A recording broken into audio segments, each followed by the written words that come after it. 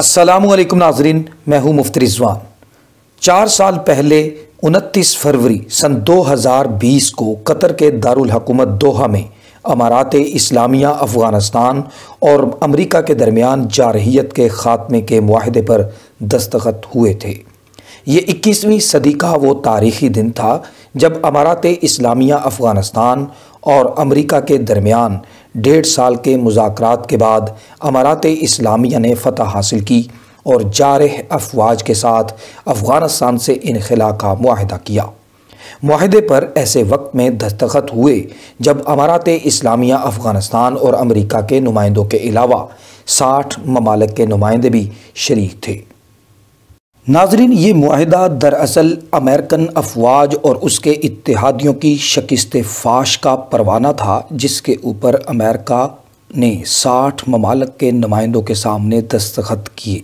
अमारात इस्लामिया अफ़गानिस्तान के मुजाहिदीन ने दोहा के इस माहदे के तहत अठासी अरब डॉलर मालियत के फ़ौजी वसाइल को बतौर माल गनीमत हासिल कर लिया।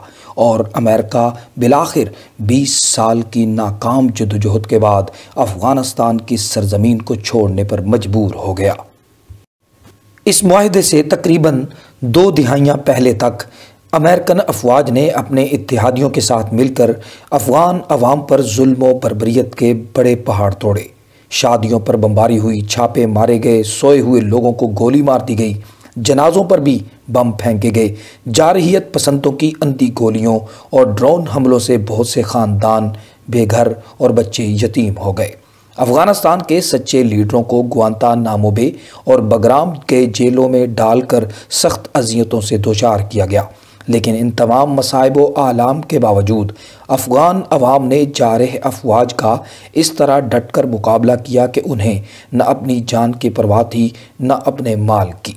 दिलचस्प बात यह है कि अमेरिका के ख़िलाफ़ जिहादी जद्दोजहद का आगाज़ भी उनतीस फरवरी को ही हुआ था। उस वक़्त सूबा पक्तिया के ज़िला शाही कोट के फलक बोस पहाड़ों में कमांडर मुल्ला सैफुररहमान मंसूर की सरबराही में जिहाद का आगाज़ हुआ। दो अशरों की शदीद जद्दोजहद में अफ़गान सरजमीन के फर्जंदों ने अमेरिकन अफवाज को दंदान शिकन जवाब दिया।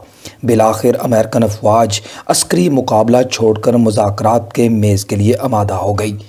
जी हाँ ये वही मुजाहिदीन थे जिन्हें जारह अफवाज पहाड़ों में भी ज़िंदा रहने का हक नहीं दे रही थी। इस माहदे के नतीजे में अमरीका और उसके हम नवाओं को शिकस्त फाश हुई और अफ़गान अवाम इस्लामी तारीख़ में इक्कीसवीं सदी के फ़ातहीन में शुमार होने लगे। माहदा हो गया जारह अफवाज को भगा दिया गया और इस सरजमीन को एक बार फिर शहदा के खून की बदौलत इस्लामी निज़ाम की नेमत नसीब हुई। पूरे मुल्क में जारह अफवाज की आमद से शुरू होने वाला खून रेजी का सिलसिला सब्र इस्तकामत के नतीजे में मुकम्मल तौर पर रुक गया। नाजरीन, इस माहदे के बाद सबसे अहम पहलू इस माहदे पर अमल दरामद था। अगर हम गुज्त ढाई साल का जायज़ा लें तो अमारात इस्लामिया ने इस माहदे पर मुकम्मल तौर पर अमल दरामद किया है। अफ़गानिस्तान को एक महफूज सरजमीन बना दिया, जहाँ से किसी दूसरे मुल्क की सालमियत को कोई ख़तरा नहीं है। मनशियात दुनिया के लिए एक संजीदा चैलेंज था। अमारात इस्लामिया ने अफ़गानिस्तान से इसका मुकम्मल ख़ात्मा कर दिया। अफ़गान सरजमीन दहाइयों बाद एक मरकज़ी हकूमत और क़्यादत के तहत इस तौर पर मनज़म हुई कि खौफ फैलाने वाले किसी ग्रोह को इसमें रहने की ज़रूरत न है। अमन अमान बहाल और सिक्योरिटी रिस्क नहीं है। अफ़गान अवाम दोबारा अपनी आरामदेह ज़िंदगी की तरफ़ लौट गए हैं। ये वो हकाइक हैं जिन्हें नज़रअंदाज नहीं किया जा सकता। लेकिन अगर हम माहदे के दूसरे रुख पर नज़र डालें तो दस्तयाब शवाहद हमें बताते हैं कि अमरीकी फ़रीक ने बारहा इस माहदे की खिलाफ वर्जी की है। अफ़गानिस्तान की फ़जाई हदूद की खिलाफ वर्जी की है, जो दोहा माहदे की सरी खिलाफ वर्जी है।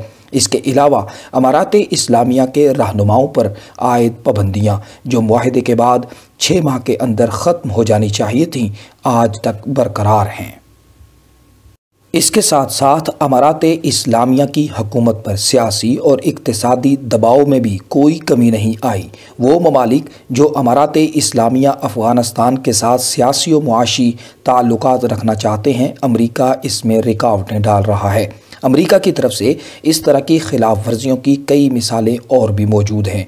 लेकिन अमारात इस्लामिया के ज़िम्मेदारों ने इस्लामी असूलों और अहकाम के मुताबिक कभी माहदे की खिलाफ वर्जी नहीं की। जिस तरह अमारात इस्लामिया ने दोहा माहदे के तमाम शिकों की पासदारी की और इस पर अमल दरामद को मुमकिन बनाया, इसी तरह अमरीकी फ़रीक को भी माहदे की पासदारी के लिए दयानतदाराना रवैया इख्तियार करने की ज़रूरत है। अमेरिका और दुनिया जानती है कि अमारात इस्लामिया के साथ बातचीत के अलावा कोई दूसरा रास्ता नहीं है।